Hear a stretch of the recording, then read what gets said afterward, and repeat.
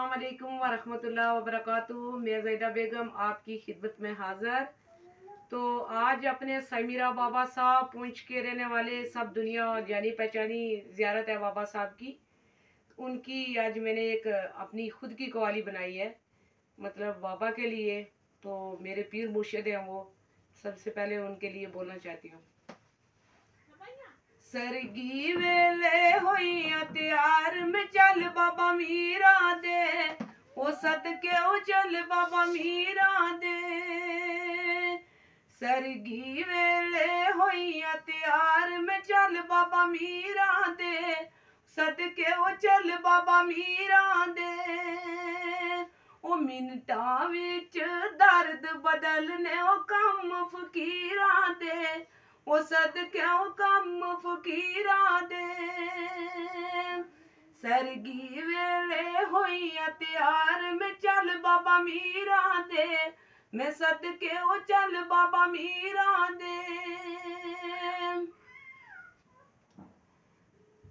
ਦਰਦ ਹੋਵੇ ਤਾਂ ਸੁਣ ਤੂੰ, ਬੰਦਿਆ ਕਰ ਮੇਰੇ ਮੁਰਸ਼ਿਦ ਯਾਦ। ਹਾਏ ਸੋਨਿਆ ਕਰ ਮੇਰੇ ਮੁਰਸ਼ਿਦ ਯਾਦ। ਮੁਸ਼ਕਿਲ ਹੋਵੇ ਸੁਣ ਤੂੰ। ਬੰਦਿਆ ਕਰ ਮੇਰੇ ਮੁਰਸ਼ਿਦ ਯਾਦ।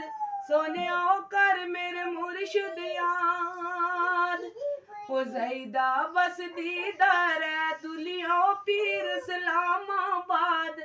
ਉਹ ਮੈਂ ਸਦਕਿਆ ਪੀਰ ਸਲਾਮਾਬਾਦ। ਸਰਗੀ ਵੇਲੇ ਹੋਈਆ ਪਿਆਰ। ਮੈਂ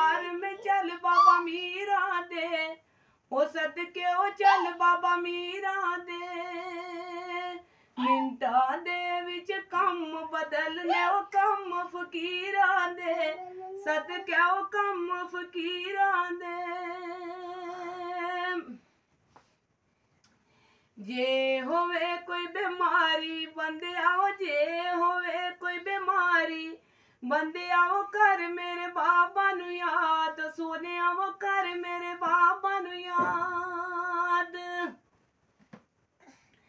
ਮੈਨੂੰ ਜੇ ਕੋਈ ਦਰਦ ਸਤਾਵੇ, ਮੈਨੂੰ ਜੇ ਕੋਈ ਦਰਦ ਸਤਾਵੇ, ਮੈਂ ਕਰਦੀਆਂ, ਉਹ ਮੈਂ ਕਰਦੀਆਂ ਅੱਗੇ ਫਰਿਆਦ ਸੋਨਿਆ ਉਹ ਕਰਦੀਆਂ ਅੱਗੇ ਫਰਿਆਦ। ਸਰਗੀ ਵੇਲੇ ਹੋਈਆਂ ਤਿਆਰ, ਮੈਂ ਚੱਲ ਬਾਬਾ ਮੀਰਾਂ ਦੇ ਸਦਕਿਆ ਉਹ ਚੱਲ ਬਾਬਾ ਮੀਰਾਂ ਦੇ। ਮਿੰਟਾਂ ਦੇ ਵਿੱਚ ਦਰਦ ਬਦਲ ਕੇ ਫਕੀਰਾਂ ਦੇ ਸਦਕੇ ਉਹ ਕੰਮ ਫਕੀਰਾਂ